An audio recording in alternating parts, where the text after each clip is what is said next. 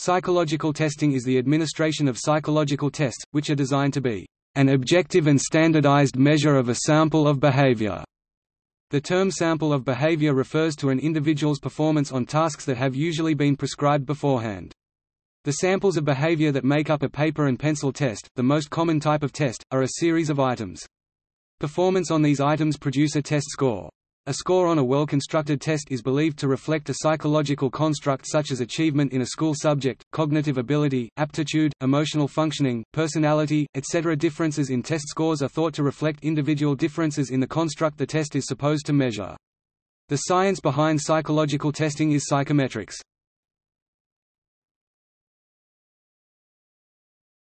Topic: Psychological tests A psychological test is an instrument designed to measure unobserved constructs, also known as latent variables. Psychological tests are typically, but not necessarily, a series of tasks or problems that the respondent has to solve. Psychological tests can strongly resemble questionnaires, which are also designed to measure unobserved constructs, but differ in that psychological tests ask for a respondent's maximum performance whereas a questionnaire asks for the respondent's typical performance. A useful psychological test must be both valid i.e., there is evidence to support the specified interpretation of the test results and reliable i.e., internally consistent or give consistent results over time, across raters, etc. It is important that people who are equal on the measured construct also have an equal probability of answering the test items accurately. For example, an item on a mathematics test could be, "In a soccer match two players get a red card, how many players are left in the end?" However, this item also requires knowledge of soccer to be answered correctly, not just mathematical ability. Group membership can also influence the chance of correctly answering items differential item functioning. Often tests are constructed for a specific population, and this should be taken into account when administering tests.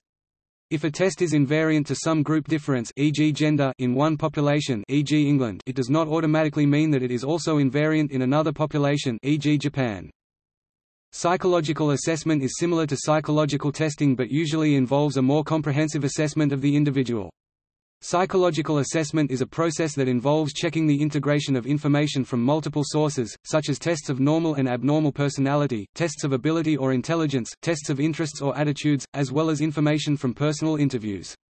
Collateral information is also collected about personal, occupational, or medical history, such as from records or from interviews with parents, spouses, teachers, or previous therapists or physicians. A psychological test is one of the sources of data used within the process of assessment, usually more than one test is used. Many psychologists do some level of assessment when providing services to clients or patients, and may use for example, simple checklists to OSIS for treatment settings, to assess a particular area of functioning or disability often for school settings, to help select type of treatment or to assess treatment outcomes, to help courts decide issues such as child custody or competency to stand trial, or to help assess job applicants or employees and provide career development counseling or training.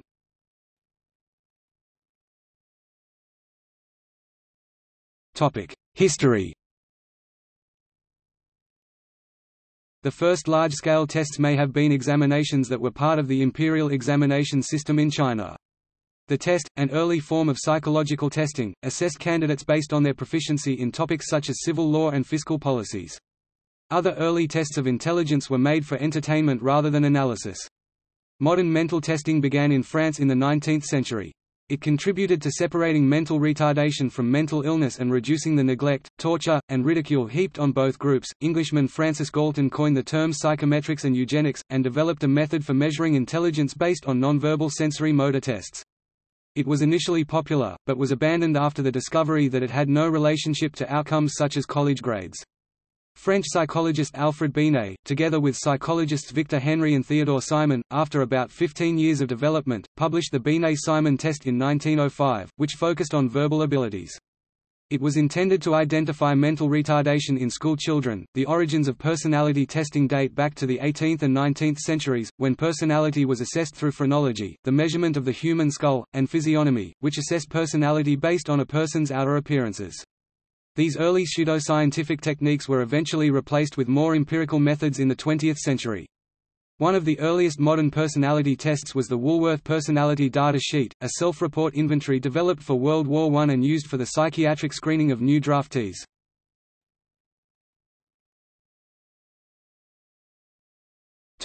Principles Proper psychological testing is conducted after vigorous research and development in contrast to quick web-based or magazine questionnaires that say, "'Find out your personality color' or "'What's your inner age?' Proper psychological testing consists of the following Standardization – All procedures and steps must be conducted with consistency and under the same environment to achieve the same testing performance from those being tested.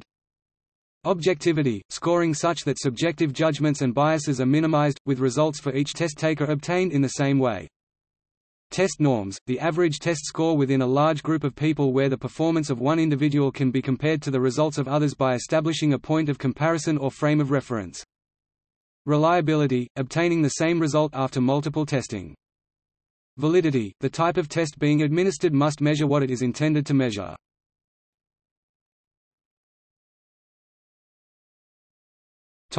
Interpreting scores Psychological tests, like many measurements of human characteristics, can be interpreted in a norm-referenced or criterion-referenced manner. Norms are statistical representations of a population. A norm-referenced score interpretation compares an individual's results on the test with the statistical representation of the population. In practice, rather than testing a population, a representative sample or group is tested. This provides a group norm or set of norms.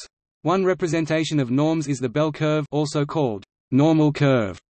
Norms are available for standardized psychological tests, allowing for an understanding of how an individual's scores compare with the group norms. Norm-referenced scores are typically reported on the standard score Z scale or a rescaling of it. A criterion-referenced interpretation of a test score compares an individual's performance to some criterion other than performance of other individuals. For example, the generic school test typically provides a score in reference to a subject domain. A student might score 80% on a geography test. Criterion-referenced score interpretations are generally more applicable to achievement tests rather than psychological tests. Often, test scores can be interpreted in both ways. Answering 80% of the questions correctly on a geography test could place a student at the 84th percentile that is, the student performed better than 83% of the class and worse than 16% of the classmates, or a standard score of 1.0 or even 2.0.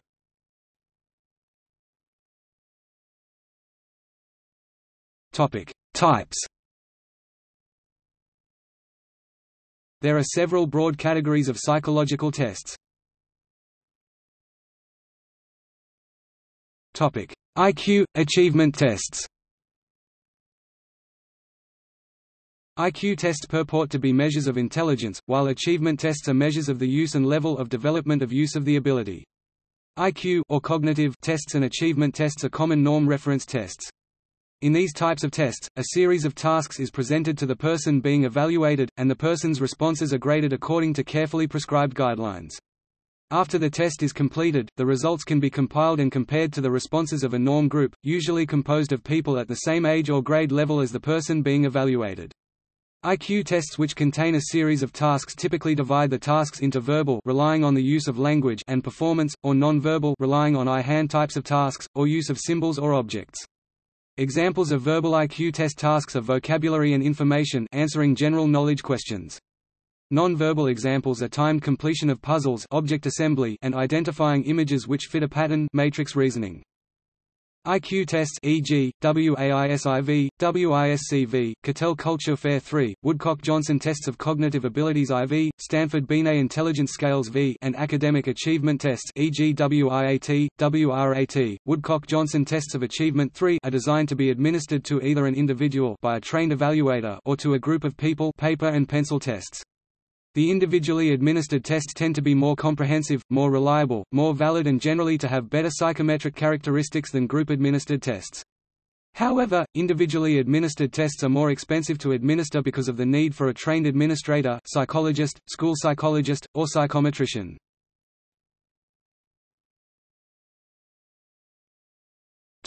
Public safety employment tests Vocations within the public safety field i.e., fire service, law enforcement, corrections, emergency medical services often require industrial and organizational psychology tests for initial employment and advancement throughout the ranks.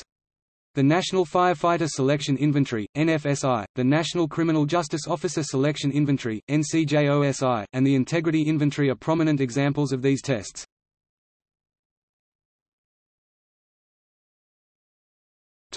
Attitude tests. Attitude tests assess an individual's feelings about an event, person, or object. Attitude scales are used in marketing to determine individual and group preferences for brands, or items. Typically attitude tests use either a Thurstone scale, or Likert scale to measure specific items.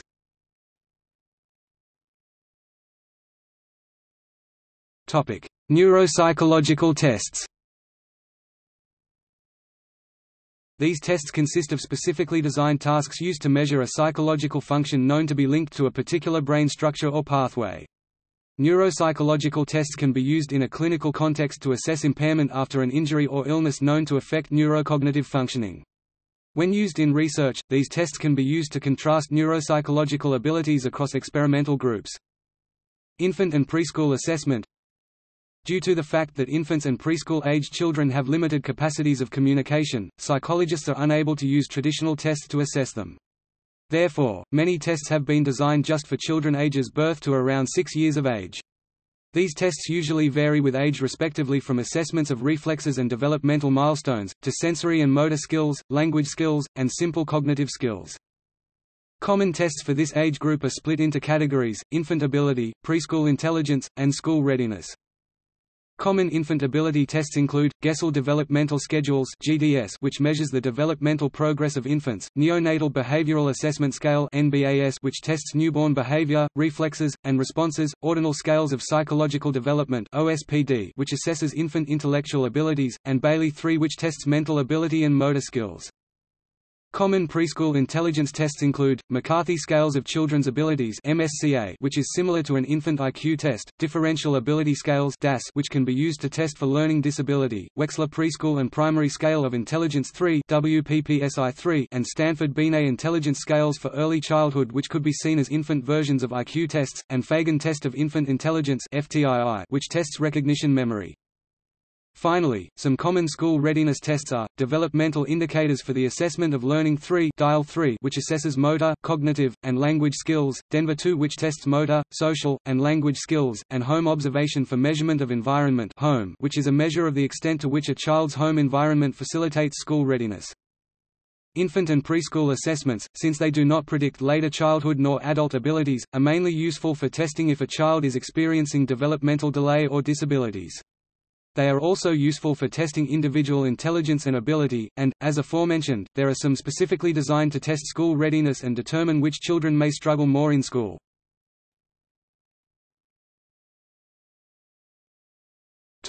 Personality tests Psychological measures of personality are often described as either objective tests or projective tests. The terms, "'objective test' and "'projective test' have recently come under criticism in the Journal of Personality Assessment.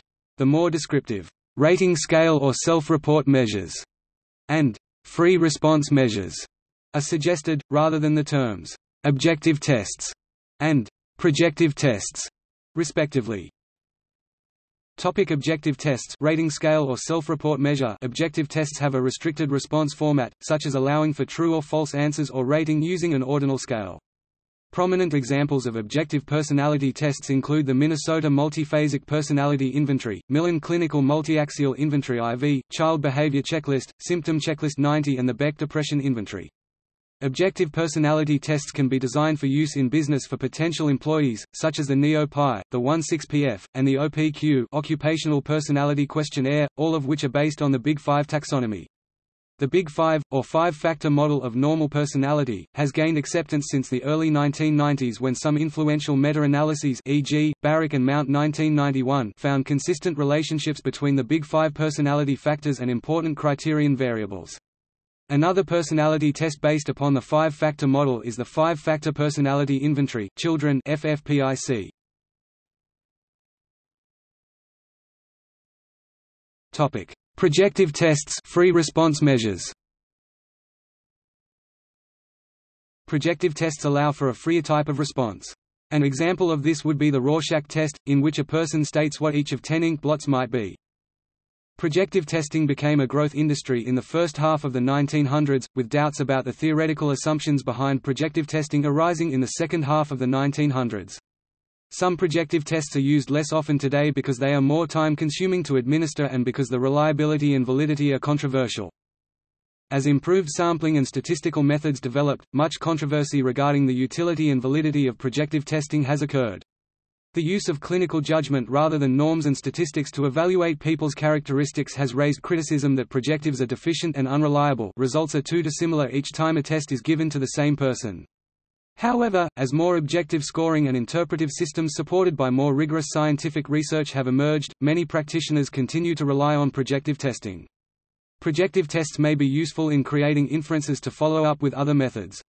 The most widely used scoring system for the Rorschach is the Exner system of scoring. Another common projective test is the thematic apperception test (TAT), which is often scored with Westen's social cognition and object relations scales and Phebe Cramer's defense mechanisms manual. Both rating scale, and free response measures are used in contemporary clinical practice, with a trend toward the former. Other projective tests include the house tree person test, the animal metaphor test.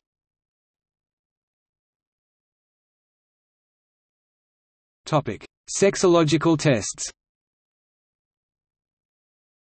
The number of tests specifically meant for the field of sexology is quite limited. The field of sexology provides different psychological evaluation devices in order to examine the various aspects of the discomfort, problem or dysfunction, regardless of whether they are individual or relational ones.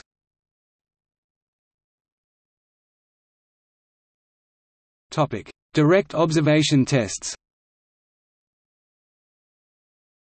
Although most psychological tests are «rating scale» or «free response», Measures Psychological assessment may also involve the observation of people as they complete activities. This type of assessment is usually conducted with families in a laboratory, home or with children in a classroom. The purpose may be clinical, such as to establish a pre-intervention baseline of a child's hyperactive or aggressive classroom behaviors or to observe the nature of a parent-child interaction in order to understand a relational disorder. Direct observation procedures are also used in research, for example to study the relationship between intrapsychic variables and specific target behaviors, or to explore sequences of behavioral interaction. The Parent-Child Interaction Assessment II is an example of a direct observation procedure that is used with school-age children and parents. The parents and children are video recorded playing at a make-believe zoo. The Parent-Child Early Relational Assessment is used to study parents and young children and involves a feeding and a puzzle task. The MacArthur Story STEM Battery MSSB is used to elicit narratives from children. The dyadic parent-child interaction coding system 2 tracks the extent to which children follow the commands of parents and vice versa and is well suited to the study of children with oppositional defiant disorders and their parents.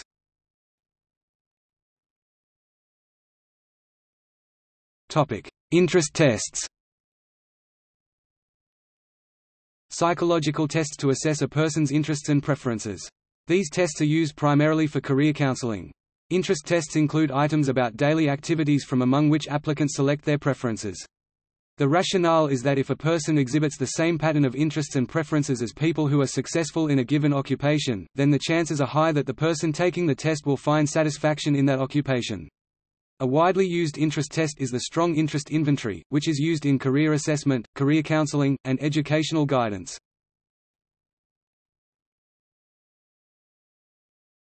Topic: Aptitude tests. Psychological tests measure specific abilities, such as clerical, perceptual, numerical, or spatial aptitude. Sometimes these tests must be specially designed for a particular job, but there are also tests available that measure general clerical and mechanical aptitudes, or even general learning ability. An example of an occupational aptitude test is the Minnesota Clerical Test, which measures the perceptual speed and accuracy required to perform various clerical duties. Other widely used aptitude tests include CareerScope, the Differential Aptitude Tests DAT, which assess verbal reasoning, numerical ability, abstract reasoning, clerical speed and accuracy, mechanical reasoning, space relations, spelling and language usage. Another widely used test of aptitudes is the Wonderlic test. These aptitudes are believed to be related to specific occupations and are used for career guidance as well as selection and recruitment.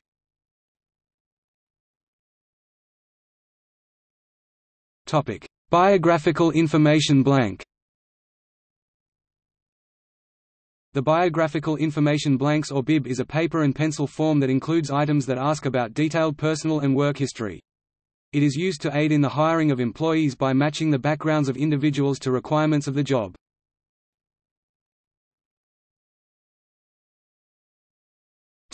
Test security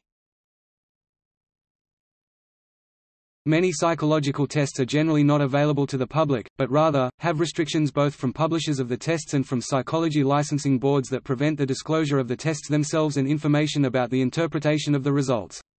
Test publishers consider both copyright and matters of professional ethics to be involved in protecting the secrecy of their tests, and they sell tests only to people who have proved their educational and professional qualifications to the test maker's satisfaction. Purchasers are legally bound from giving test answers or the tests themselves out to the public unless permitted under the test maker's standard conditions for administration of the tests. The International Test Commission (ITC), an international association of national psychological societies and test publishers, publishes the International Guidelines for Test Use, which prescribes to protect the integrity of the tests by not publicly describing test techniques and by not coaching individuals so that they might unfairly influence their test performance. See also